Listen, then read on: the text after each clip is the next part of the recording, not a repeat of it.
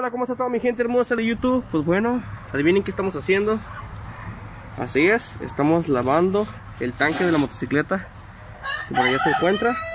También avisándoles que el dueño ya nos trajo el asiento nuevecito para su motocicleta. Y por acá está la moto. Les digo los avances. Ya me trajeron lo que es el, el switch. Para que ya me lo trajeron con dos llavecitas nuevas y ya pudimos destapar el tanque. Ahorita les voy a poner unas imágenes de cómo estaba el tanque por dentro. Horrible estaba el tanque casi lo damos por pérdida total. Le pusimos la llave al tanque. En principio no quería abrirnos pero con unos golpecitos y, W40 hicimos que, el engranaje diera vuelta. Ahora el tapón no sale. Entonces nos tocó hacerle palanca para que se destrabara. Entonces ya se pudo sacar pero mira en qué estado en qué estado se encuentra el tanque. Está prácticamente en pésimas condiciones. El mecanismo de aquí de la llave prácticamente ya no sirve. Voy a colocar aquí de nuevo. Ya la llave gira pero nada se mueve. Está en pésimo estado lo que es el tapón. Todavía te sirve lo que importa es la goma de aquí de los lados es la que sella con tu tanque así que este se podría reutilizar. Pero lo que es el tanque por dentro está en pésimas condiciones Ahí se encuentra el tanque ahorita. Ya le hemos raspado las paredes. Uno, no todas, todas. Está haciendo el truco de la cadena. Pues bueno, ahí va. Ahí va, ahí va, ahí va. Poco a poquito vamos a dejarlo que repose. Todos modos, el dueño va a traer un líquido especial para tumbarle el óxido por dentro. Así que yo me imagino que con esta dos sesión, pues va a quedar con óxido, pero más que nada, pues ya limpio, ¿no? Ya no va a tener tecatas de, de óxido que pueda perjudicar al carburador nuevo que le van a poner. Así que pues bueno, ya se sabe la técnica mi gente. Póngale una cadena. Ahí se puede observar la cadena ahí adentro. Ya se puede hacer zoom. Ahí está la cadena ahí adentro. Y si se fijan las paredes están quedando cromaditas. La de acá no sé cómo está quedando. No, la de acá todavía le falta. Pero bueno, ahí vamos, ahí vamos. Y pues bueno, toda mi gente, vamos a seguirle dando. Esta es la primera sesión. Quiero que vean la tecata de otro que está hasta abajo. Ahí se alcanza a ver la tecatona. No. Déjenme ver. A subir. No, no se, no se alcanza. A ver, voy a intentar agarrar un poco. Miren esta porquería. Sí, así como pueden verlo. Es lámina, literalmente es óxido, son tecatas de óxido las que había adentro del tanque. Y pues vamos con esta limpieza. Como ven, así que vamos a continuar. Hola a toda mi gente YouTube, pues bueno, estamos en un día después de la grabación de ayer. Y miren, el tanque así nos quedó. Este flash activado. Le pudimos quitar bastante óxido, pero pues todavía le quedan restos de óxido. No se lo pudo eliminar totalmente, pero ya hicimos un avance bastante grande. Ya con el líquido que el dueño traiga, con eso yo creo que el tanque va a quedar ya en buenas condiciones. Ahorita vamos a colocarle su switch por aquí me lo trajeron. Así que aquí lo tenemos. y ya le hicieron las llaves. Las tengo en mi bolsillo. De este lado. Así que aquí están las llaves. Pues bueno, vamos a montarle el switch en su lugar donde va. Así que vamos a desmontar la cabeza de la motocicleta para poder colocar su switch en el lugar donde iba. Ok. Para hacer eso, voy a poner las llaves en el switch para que no se me pierdan. Listo. Y voy a quitar el tornillo que le puse aquí abajo. Aquí para que la cabeza caiga para acá. Y poderlo desarmar rápido. Listo una vez retirado el tornillito la cabeza como pueden ver ya cayó. De este lado de acá le había puesto los tornillos. Vamos a poner el switch aquí donde no se lo voy a caer y de este lado esos dos tornitos dorados de aquí son de él. Vamos a poner por aquí. El otro. Y iba un tornillo adicional ahí que son dos bastante largos que en este caso serían sería este ok entonces primero van los dorados. Los dorados se meten por la parte de aquí. Así que colocamos el switch en su lugar sería justamente ahí. Voy a la base donde va. Justamente se atornillan de ahí. Y el tornillo se le mete por la parte de aquí abajo ok entonces se los pongo y vamos a continuar. Listo ya una vez colocado el switch pueden ver lo voy a probar. Y abre cierra, abre cierra. Ok así que vamos a hacer la reconexión. Acuérdense que la conexión de aquí tiene que ir un interruptor que están aquí adentro. Los meros de ahí van aquí. Así que vamos a conectarlos y monto la cabeza. Ok ya una vez reconectado el switch aquí está, lo podemos observar.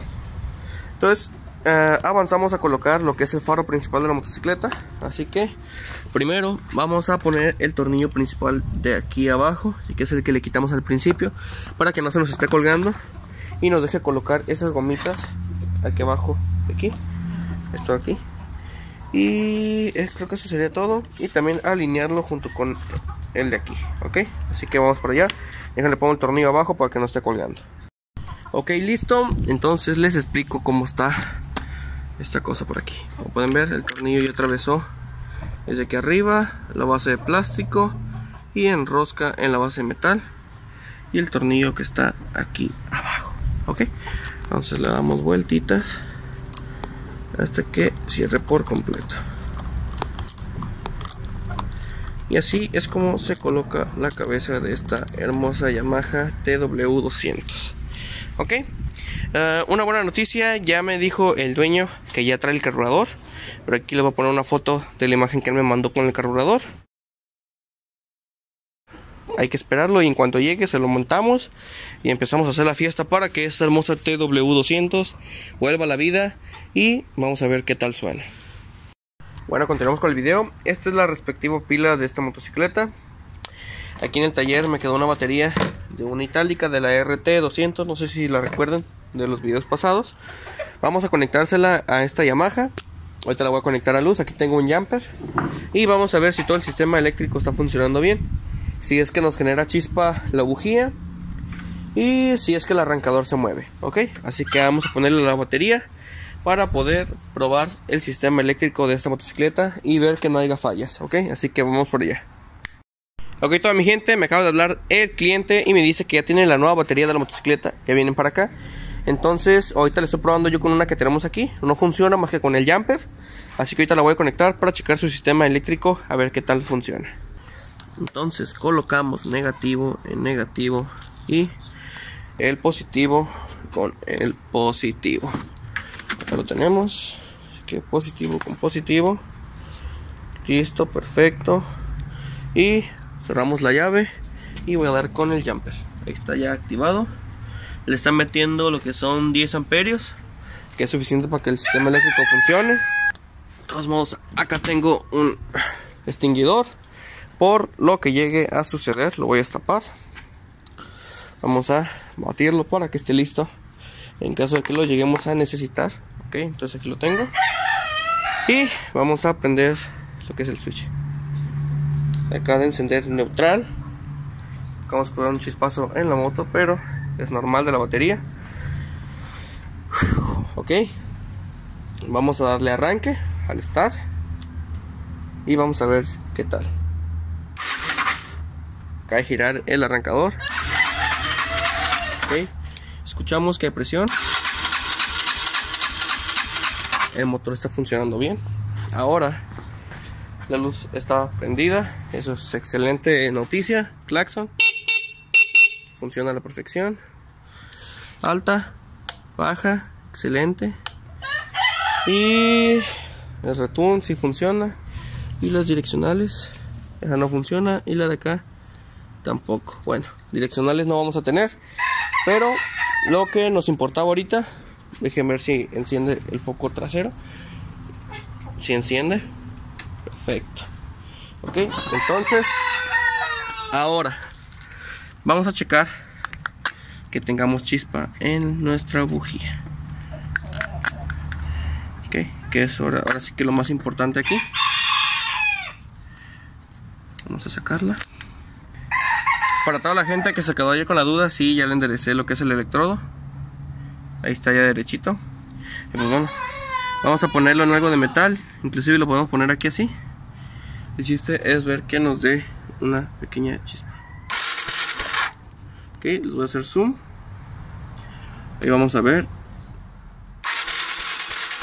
como pueden ver tenemos chispa esa es una excelente noticia así que solamente es cuestión de traer su bujía cambiársela. Ahorita en este momento también le vamos a sacar su aceite para que esté lista para que para cuando nomás llegue el carburador montárselo y ponerla a funcionar. Así que bueno mi bandera déjenle saco el aceite. Ustedes ya vieron eso. Nomás es cuestión de checar aquí el nivel de aceite que por lo que veo trae excesivo aceite pero no, no pasa nada. Dice que llevo un litro así que vamos. Pues bueno. Vamos a echarle un su litrito de aceite pero por lo que veo a como está el marcador aquí si acaso le va a caber medio litro pero ahorita vemos cuál es la cantidad exacta que lleva esta motocicleta y se lo ponemos. Así que pues bueno creo que abajo de esta parrilla va a tener lo que es el tornillo de purga. Yo, yo no me he asomado acá abajo así que ustedes díganme que se ve. Y ahorita le sacamos aceite para cambiárselo le hacemos su lavado de motor cuando venga el carburador y pues bueno toda mi bandera. Seguimos chambeando con esta motocicleta y la voy a apagar nomás será una prueba así que vemos que todo funciona